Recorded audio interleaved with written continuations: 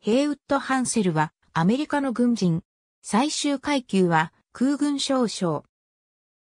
1903年9月28日、バージニア州フォートモンローで父、ヘイウッド・ハンセル陸軍大佐の息子として生まれる。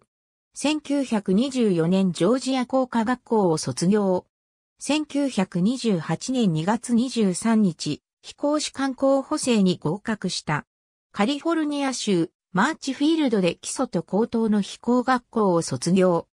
1934年末、第一追撃航空隊長となったクレア・リー・シェンノートの下でアクロバットチームフライングトラピーズの3人男を結成する。この時のハンセルは少尉だった。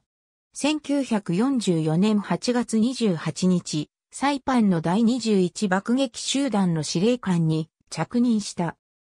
ヘンリー・アーノルド大将は日本本土爆撃を実行する司令官に着任したハンセル准将に対し B-29 の狙いは大量の爆弾を搭載しはるか遠くに運ぶ能力という攻撃力にある。しかし、現時点この爆撃機の性能を活かした攻撃が実行できていない。我が軍で最も優れた部隊の一つを君に任せれば B-29 を活かして打ちのめすと信じると書簡を送った。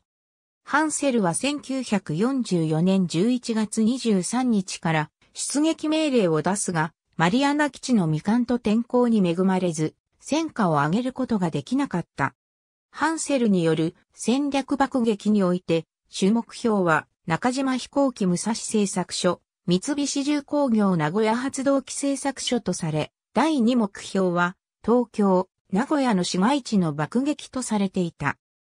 1944年11月23日、ハンセルは第一次サンアントニオ作戦で初めて B-29 への出撃命令を出したが、マリアナ基地が未完成であったことや、目標の中島飛行機武蔵製作所上空の天候に恵まれず、111機の B-29 のうち武蔵製作所を爆撃できたのは24機のみであった。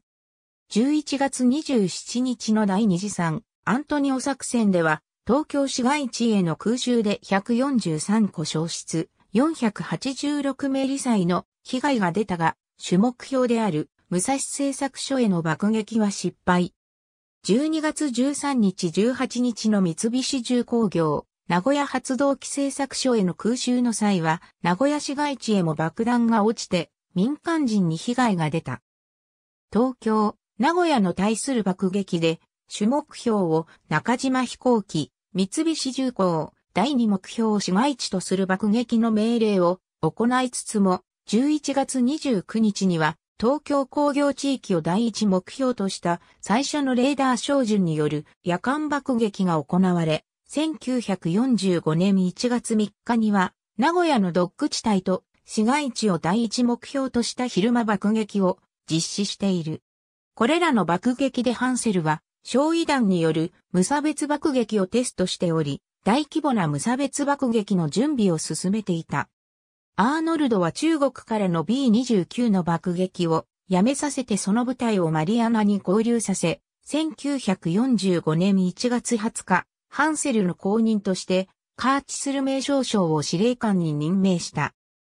戦後ハンセルは、もし自分が指揮を取り続けていたら、大規模な地域爆撃を行わなかっただろう。自分の罷免は精密爆撃から地域爆撃への政策転換の結果であると語っているが、実際はハンセルの任期から無差別爆撃の準備を進め、実験的に実行しており、無差別爆撃の方針についてルメイは、基本的にハンセルの戦術を踏襲している。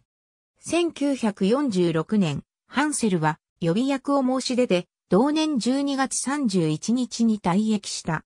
その後、ペルーでの航空会社顧問や南大西洋ガスの社長を歴任したが、ホイト・バンデンバーク米空軍参謀総長の指示で1951年7月15日にアメリカ空軍に復帰。1955年に退役後はゼネラルエレクトリックのオランダ支社長を務め、1967年に退職。サウスカロライナ州ヒルトンヘッドに隠居を構えた。1988年11月14日に肺水腫と心不全の合併症で死去した。ありがとうございます。